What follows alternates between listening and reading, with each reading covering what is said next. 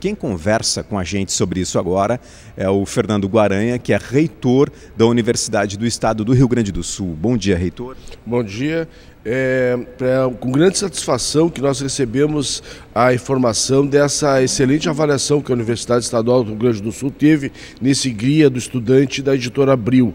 Desde a, a, de alguns anos atrás, nós temos sistematicamente recebido dos das, dos instrumentos de avaliação, tanto do MEC quanto de outros órgãos é, ligados à educação, da qualidade dos nossos egressos. É, em 2011 e 2012 nós tivemos excelente é, posição dentro do ENAD, que, é uma, que são critérios de avaliação promovidos pelo MEC. em 2013 nós somos a, 2011 nós somos a terceira melhor instituição do Estado, em 2012 nós somos a quinta melhor instituição do Estado, em 2013 ainda não saiu o resultado, mas a nossa expectativa expectativa é que esse desempenho ele siga, vamos dizer assim, nesse patamar de, de qualidade. Heitor, quais foram os cursos que receberam esta distinção? É, esse, essa é uma nova avaliação do Guia do Estudante, são 10 cursos. É, os cursos que, que receberam quatro estrelas para nossa satisfação é o curso de Administração de Porto Alegre, Ciências Biológicas do Litoral Norte, Pedagogia do Litoral Norte e Pedagogia de São Francisco de Paula. Também tiveram uma, avaliação boa a, a Engenharia de Bioprocessos e Biotecnologia de Bento, de Novo Hamburgo, de Santa Cruz do Sul, a Engenharia de Computação de Guaíba, a Engenharia de Energia de Novo Hamburgo e a Pedagogia e Licenciatura de Bagé.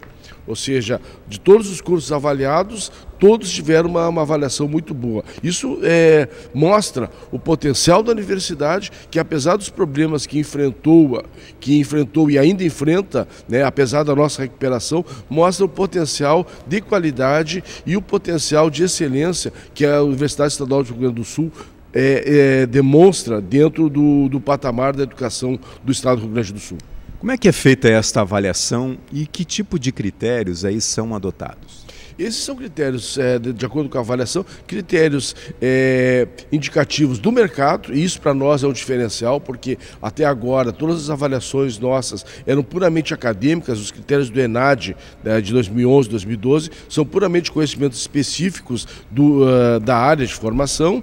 E essa avaliação, além de conhecimentos específicos, é uma avaliação de mercado. Isso mostra que o mercado está é, recebendo e reconhecendo no nosso egresso, no nosso curso, nos nossos cursos, é, é, profissionais com alta qualidade e, e, são utilizados critérios, por exemplo, aí detalhando um pouquinho mais, critérios de reconhecimento de mercado, critérios de oferta de curso, critérios de infraestrutura e, e nós sabemos que apesar da infraestrutura é, muitas vezes não ideal, uma estrutura com laboratórios ainda com problemas, bibliotecas com ainda carência de livros, etc. Apesar de todos esses problemas, a avaliação é muito boa, isso nos enche de satisfação e nos dá mais energia para continuar nesse processo de recuperação da nossa universidade. Reitor, para a gente concluir, eu gostaria que o senhor uh, falasse o, o que, que significa para a comunidade acadêmica o, este reconhecimento.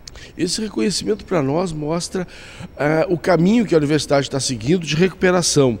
É, depois de problemas sérios que passamos nos últimos anos, com o apoio do governo do Estado, dos partidos políticos, da Assembleia Legislativa e principalmente de, todo, de toda a comunidade é, do Estado do Rio Grande do Sul, que começa a ver na universidade uma verdadeira universidade de Estado. E isso para nós é, vamos dizer assim, um salto de qualidade muito grande. E isso mostra que a universidade está se recuperando e que nós caminhamos para um reconhecimento amplo da sociedade e que nós possamos cumprir, com o apoio de todos, a tarefa para a qual a universidade foi criada, que é o desenvolvimento regional sustentável do nosso Estado.